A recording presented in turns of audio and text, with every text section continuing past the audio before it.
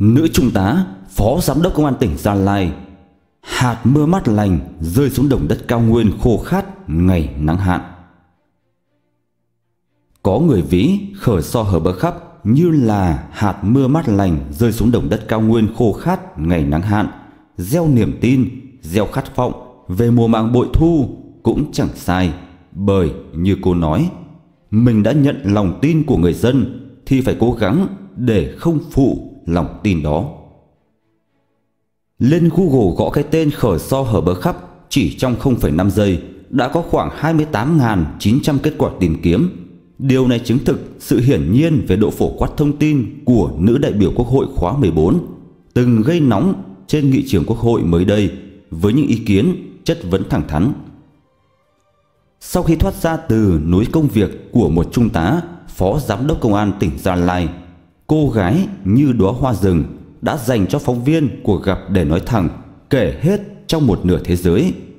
Ngoài đời, người phụ nữ khả ái dịu dàng, khác hẳn với vẻ nghiêm nghị, giọng nói rõ chắc trên nghị trường. Khởi so hở bờ khắp cười phân bua vì quá bận để giải quyết rốt ráo công việc. Một, tuổi thơ buôn làng vui lắm.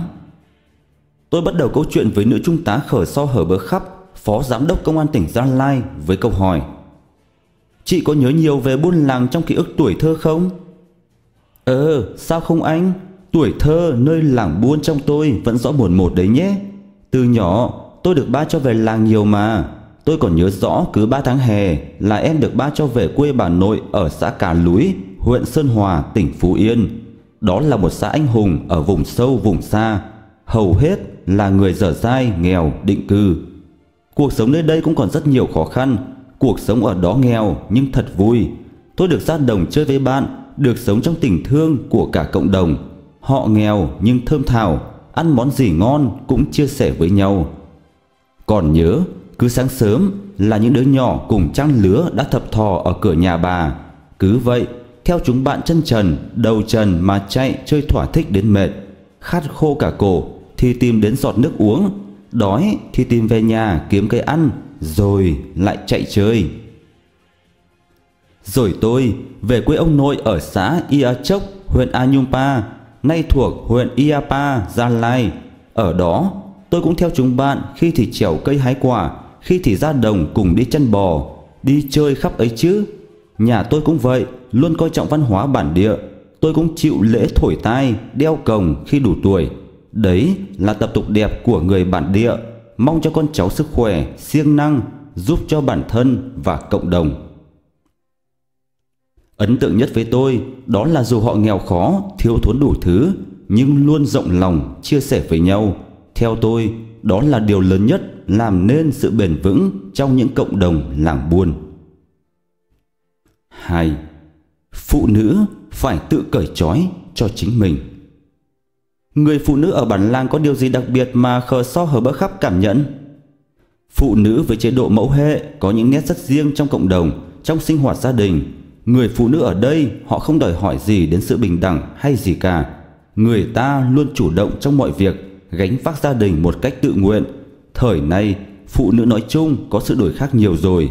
Phụ nữ được quan tâm nhiều hơn đến nhiều thứ để mang lại lợi ích về sức khỏe, về trí tuệ.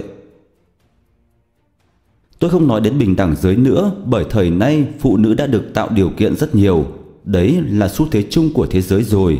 Nhưng mà cái lớn nhất là nhiều phụ nữ vẫn tự trói mình trong những khuôn khổ tự mặc định mà không chia sẻ với người đàn ông chung sống với mình hoặc những người đàn ông xung quanh mình ở trong công việc, tiếp xúc hàng ngày. Mình tự trói buộc mình và sau đó mình tự thấy mệt mỏi, ức chế và cuối cùng là tự thấy mình không được bình đẳng. Trong bình đẳng giới theo khờ so hở bỡ khắp, phụ nữ phải cần làm gì? Tất nhiên, cũng có nơi này, nơi kia cách nhìn nhận về phụ nữ còn phiến diện, có tính ban phát. Chẳng hạn, chỉ một ví dụ nhỏ thôi, đó là có nhiều nơi nhà vệ sinh dành cho nam nhiều, nhưng dành cho nữ lại quá ít. Những cái đó tưởng nhỏ thôi, nhưng nó cũng thể hiện sự công bằng, bình đẳng trong đó.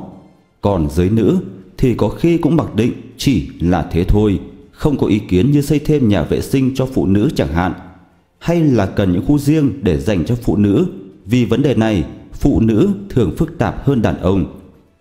Và còn nhiều vấn đề khác nữa cũng cần phải lưu tâm. Từ những việc nhỏ như thế, nhưng có đơn vị phụ nữ là người lãnh đạo cao nhất, họ cũng chưa nghĩ đến. Đó cũng là chưa đột phá để xây dựng bình đẳng giới, chưa mở ra những vùng cấm trong tư duy của họ. Cho nên, có nhiều trường hợp người phụ nữ vô tình đã buộc đá vào chân mình các mối quan hệ. Quan điểm của tôi là mọi người cần phải truyền lửa cho nhau để có thể tự tin hơn. Cái tự tin của người phụ nữ nó thể hiện ở nhiều phương diện, đấy là năng lực, bản lĩnh, thẳm sâu trong con người họ mà chính họ phải khai thác, khám phá và thể hiện để xã hội thừa nhận, tôn trọng, trân trọng. Người phụ nữ phải tinh tế đối với bản thân họ đã. 3. Luôn cố gắng trau dồi để làm tốt nhiệm vụ. Khi ở nghị trường quốc hội với những phát biểu thẳng thắn như thế, chị có gặp phải những áp lực gì không? Câu này tôi cũng đã bị hỏi nhiều năm qua rồi. Thực sự tôi không có áp lực nào trong việc phát biểu trên nghị trường. Áp lực lớn nhất của tôi chính là việc mình phát biểu liệu có mang lại giá trị gì, có sự thay đổi gì trong cái hoạt động làm luật của Quốc hội và trong việc triển khai thực hiện các luật do Quốc hội ban hành. Và cái lợi ích lớn nhất là người dân được hưởng cái gì từ những vấn đề mình có ý kiến. Bởi đại biểu quốc hội là đại diện cho tiếng nói người dân, còn đối với trách nhiệm của một đại biểu, tôi có áp lực nhất định. Vậy câu chuyện của một đại biểu quốc hội được chị ý thức như thế nào? Mình vinh dự được người dân tin tưởng bầu, nên bởi vậy mình phải hiểu là cánh tay nối dài của người dân đến nghị trường những vấn đề người dân mong mỏi bức xúc cần những người đại biểu như mình chuyển đến kiến nghị với quốc hội đại biểu quốc hội đã được trao gửi, lắng nghe, ghi nhận ý kiến người dân thì mình phải chuyển tải đến nghị trường. Mình phải làm, làm đúng chức trách của mình và lợi ích mà mình mong muốn phải là lợi ích của người dân, của toàn xã hội. Còn nếu như anh chị chỉ quan tâm đến lợi ích nhỏ của cá nhân anh, của đơn vị anh thì cái đó nó không có tính lâu dài và bền vững. Bởi anh ứng cử ở một địa phương nhưng anh là đại biểu quốc hội của dân dân đang đặt niềm tin ở anh, đặt cơ hội cho anh để nói tiếng nói chung về những vấn đề bức xúc của xã hội. Chị đã làm quen với ghế nóng Phó Giám đốc Công an tỉnh Gia Lai như thế nào? Từ vị trí công tác cũ tức trưởng công an thị xã Anjumpa, tôi nhận nhiệm vụ mới được gần một năm rồi. Nói là làm quen công việc mới cũng chả phải, bởi nhận nhiệm vụ xong là đảng ủy, ban giám đốc công an tỉnh Gia Lai giao công việc trực tiếp luôn. Bây giờ nhiệm vụ được giao bao quát hơn, rộng hơn, mới tiếp cận vị trí công việc mới nên tôi phải cập nhật, dành nhiều thời gian cho nghiên cứu tài liệu, học hỏi để hoàn thành tốt công việc được giao. Các văn bản pháp quy phải nghiên cứu nhiều hơn để có cơ sở chắc chắn khi thực thi công việc, đảm bảo đúng trình tự, thủ tục, đúng luật. Vào ngày 20 tháng 10 chị có tâm sự gì cùng với những chị em của mình? Phụ nữ Việt Nam có bản chất kiên cường, dũng cảm, trung hậu, đảm đang, trong suốt chiều dài lịch sử. Điều đó đã được minh chứng, nhưng trong thời đại mới, những giá trị tốt đẹp đó cần được phát huy theo những phương cách phù hợp. Phụ nữ cần phải nỗ lực mạnh mẽ vượt lên chính mình để được gia đình, xã hội, đồng nghiệp, cấp trên thừa nhận, tôn trọng. Đó mới là hướng đến những giá trị của bình đẳng giới. Tôi mong muốn phụ nữ thời đại mới cần quan tâm hơn đến sức khỏe của mình. Có sức khỏe mới làm được nhiều việc Chăm sóc sức khỏe bà mẹ cũng là cách để giúp cho xã hội, cho đất nước những công dân khỏe mạnh, thông minh.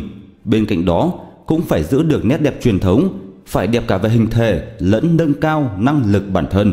Quan trọng nữa là tâm hồn người phụ nữ Việt Nam cần phải được giữ gìn, truyền đời.